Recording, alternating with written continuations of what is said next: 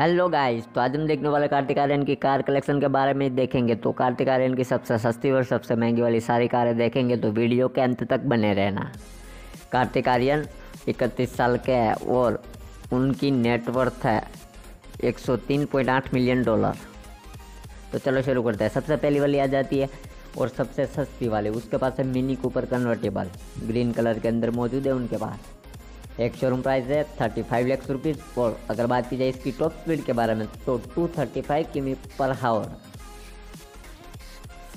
Number दो के ऊपर आ जाती है एक सीडान कार है, जिसका नाम है बी की तरफ़ से आने वाली five series five twenty D के नाम से फ़ेमस है कार पिछहत्तर लाख रुपए इसका एक शोरूम प्राइस है। अगर बात कीजिए टॉप स्पीड के बारे में तो 250 किमी पर हावर की टॉप स्पीड है। नंबर तीन के ऊपर आ जाती है लंबोर्गिनी की तरफ़ से आने वाली यूरोस अगर बात की जाए इसके प्राइस के बारे में तो तीन करोड़ दस लाख रुपए इसका एक शोरूम प्राइस है। अगर बात की जाए इसकी टॉप स्पीड के बारे में तो 305 किमी प्रति घंटे की।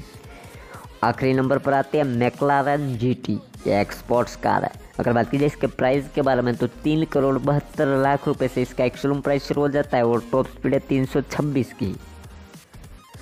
और वीडियो पसंद आई तो वीडियो को लाइक कर देना और चैनल को कर देना सब्सक्राइब और बेल आइकन भी प्रेस कर देना। Thank you for the watching